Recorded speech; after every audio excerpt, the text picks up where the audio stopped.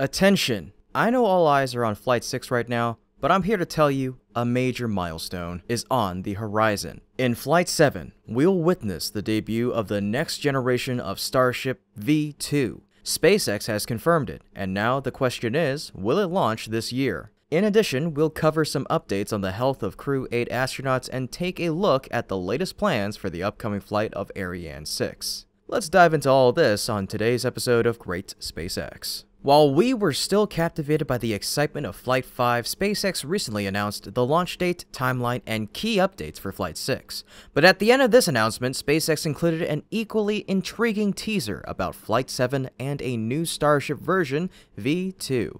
In their statement, SpaceX hinted at the upcoming changes, saying, Future ships starting with the vehicle planned for the 7th flight test will fly with significant upgrades, including redesigned forward flaps, larger propellant tanks, and the latest generation tiles and secondary thermal protection layers as we continue to iterate towards a fully reusable heat shield. Although they didn't directly refer to it as V2, the details strongly suggest it. First, let's look at the redesigned forward flaps, a defining feature of V2 compared to V1. After the flap damage observed in Flight 4, SpaceX outlined several changes, including smaller, sharper flaps, the joint connecting the flap to the ship has been streamlined, and the forward flap will be positioned closer to the nose and leeward side of the ship. These changes aim to enhance flap control during navigation and reduce stress and impact during reentry. Next, images of S-33, the first version of V2, reveal a slightly larger ship body, with the payload door positioned higher, indicating an increase in fuel tank capacity.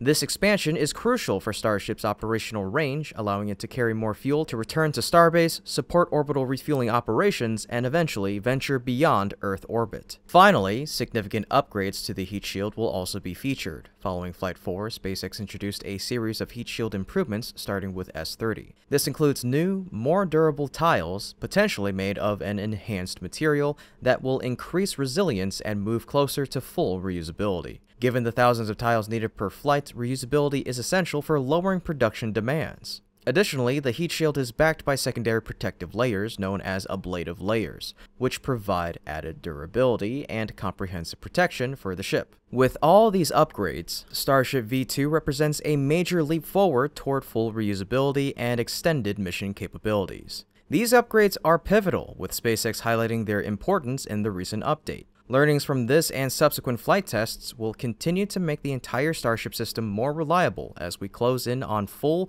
and rapid reusability. In short, all signs point to Starship V2 taking center stage. This also implies that the final version of V1, Ship 32, won't be making its flight debut. I initially expected S-32 would be featured in Flight 7, with V2's debut in Flight 8, but it seems clear that the S-32 hasn't undergone any testing since its completion, signaling its retirement. The likely candidate for Flight 7 is the V2 prototype Ship 33. After being assembled in a record 41 days, S-33 reached the Massey test site in late October for cryogenic testing. Following this, it returned to the production site at Megabay 2 where it received its engines. For now, it's equipped with Raptor 2 engines, though I expect that Raptor 3 will eventually be integrated, especially considering V2's expected liftoff thrust of 8,240 tons, a figure Raptor 2 cannot achieve. This makes Raptor 3 development crucial for V2's inaugural mission. If all goes smoothly, S-33 will soon head back to Massey for a static fire test. Once that phase is complete, it'll be ready to pair with a booster for integration testing.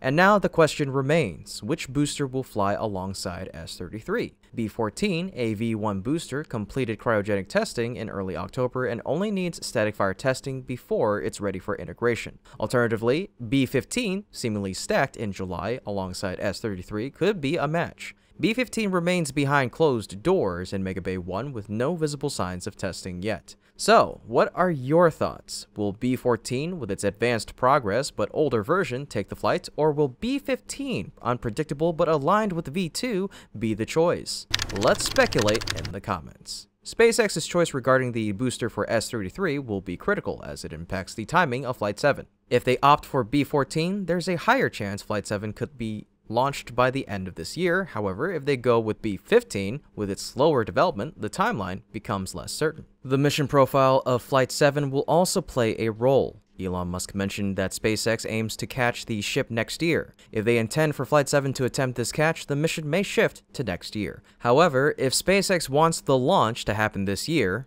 the first V2 prototype will likely still land in the ocean. Personally, I'd prefer to see the prototype land more conservatively in the ocean rather than attempting an immediate catch. With five Starship flights this year, am I being overly optimistic? What do you think? Let me know your thoughts in the comments section down below. Regardless, one thing is certain. V2 will take flight in Flight 7. Type F7V2 in the comments to mark this exciting milestone, and don't forget to like, share, and subscribe to stay up to date with SpaceX's journey. Now, on to NASA's recent update regarding the health of the Crew 8 astronauts. NASA has provided limited information about the recent hospitalization of a Crew 8 astronaut following the crew's return to Earth after an extended mission aboard the ISS. On October 25th, NASA revealed that an unidentified astronaut had experienced a health concern, prompting medical staff to transport them to Ascension Sacred Heart Pensacola Hospital in Florida. Although all four crew members were evaluated at the hospital, only three were cleared and returned to Johnson Space Center immediately, while the affected astronauts stayed behind for further observation. In an update on October 26th, NASA confirmed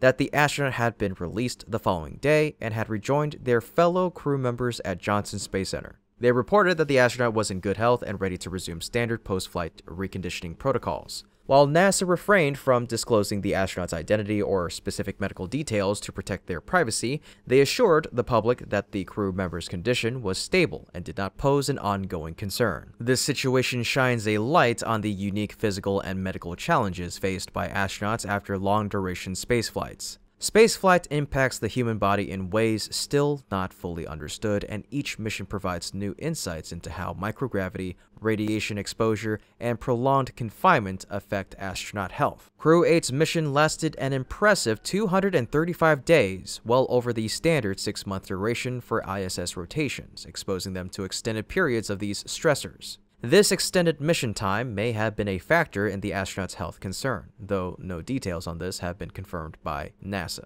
At a press briefing, Crew 8 member Michael Barratt acknowledged the unexpected challenges that can arise in human spaceflight, stating, Spaceflight is still something we don't fully understand. We're finding things that we don't expect sometimes. He indicated that this incident was an example of those unexpected factors, and expressed NASA's commitment to respecting the astronauts' privacy while continuing to assess and understand the situation. Barratt also hinted that NASA may reveal additional information about the incident after their internal review concludes. The incident emphasizes the rigor of NASA's post-flight protocols, especially following such a lengthy mission, and highlights the agency's commitment to astronaut health. The post-flight reconditioning period involves thorough monitoring and physical recovery sessions to help astronauts readjust to Earth's gravity, address any health complications, and ensure they are ready for future missions. As the Crew 8 astronauts now undergo reconditioning, the incident also serves as a reminder of the importance of health and safety advancements as humanity aims for more ambitious missions to the Moon, Mars, and beyond. With each mission, NASA gains valuable data on the impacts of space travel on the human body, helping to refine procedures and support astronaut health